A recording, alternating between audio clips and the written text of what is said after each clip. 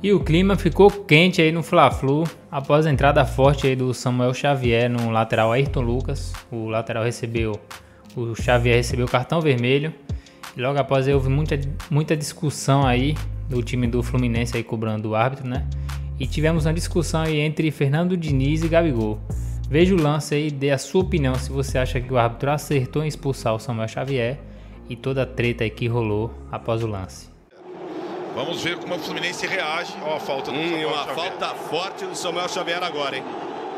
Vai pintar cartão, expulso direto. Então, aí, meu cara. Expulso direto Samuel Xavier. A reclamação dos jogadores do Fluminense. É, Arnaldo, é aquilo que você destacava. O Fernando tentou a cartada de tentar surpreender, como ele faz no habitual.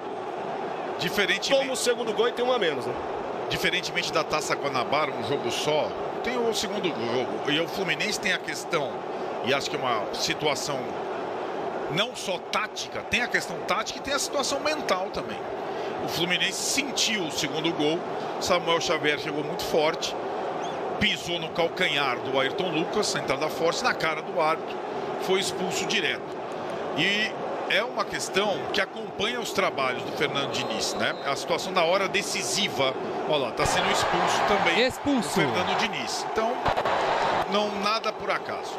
Fernando Diniz me parece, junto com a expulsão do Samuel Xavier, e o clima esquenta, hein, Caio? É isso, Ivan. O Fernando Diniz, por alguma coisa, segundo o árbitro que falou, está sendo expulso. Confusão generalizada. Já havia muita reclamação da equipe do Fluminense. O Diniz ficou muito irritado e o árbitro resolveu expulsar de Tito. O pedido dos jogadores do Fluminense, David Braz, todo mundo que estava no banco, é para que o árbitro cheque no VAR. a- Perfeito. Daqui a pouquinho o Caio complementa. Uma pequena variação aí no áudio do Caio. Então, pessoal, pelo que o Caio passou de informação, os jogadores do Fluminense, incluindo o Fernando Diniz, pediram para que no VAR fosse verificada a, a marcação da equipe. Vou pedir então só esse, esse breve momento para o Caio resolver ali a parada do microfone sem fio dele. Aí, ó, de novo. É, entrada que não tem o que questionar, né? Não há nem o que levantar de, de possibilidade de que não houvesse esse cartão vermelho. Na câmera lenta, se for pro VAR, vai ficar evidente que era para cartão vermelho, porque ela é mais grave voando detalhadamente câmera lenta do que naquele primeiro momento direto.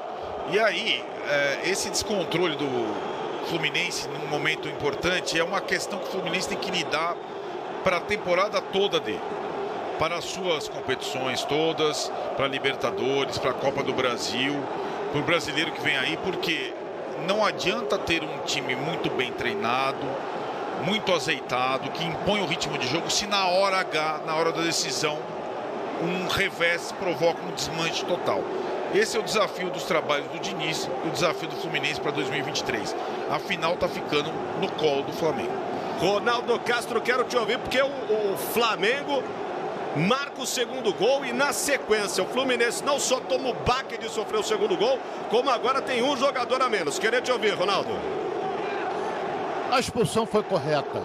O Wagner do Nascimento Magalhães é um dos melhores árbitros da federação, junto com o Bruno Arleu de Araújo, que vai estar inclusive no domingo que vem.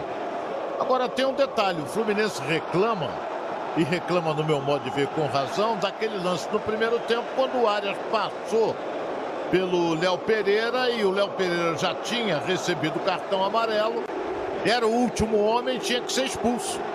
E o árbitro deu a jogada como faltosa, mas não, não expulsou o Léo Pereira. Essa é a revolta do time do Fluminense. Mas que a expulsão do Samuel Xavier foi correta, foi. Correta foi. Agora vai entrar o Guga aí no time do Fluminense para compor ali a zaga.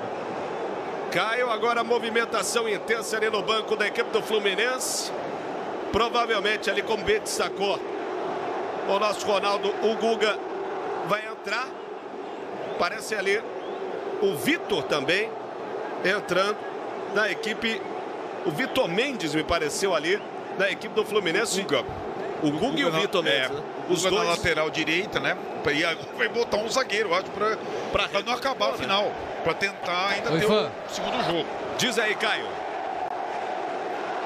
Vão sair Ganso e Pirani para a entrada de Vitor Mendes e Guga. O Vitor Mendes, camisa número 4, e o 23, o Guga.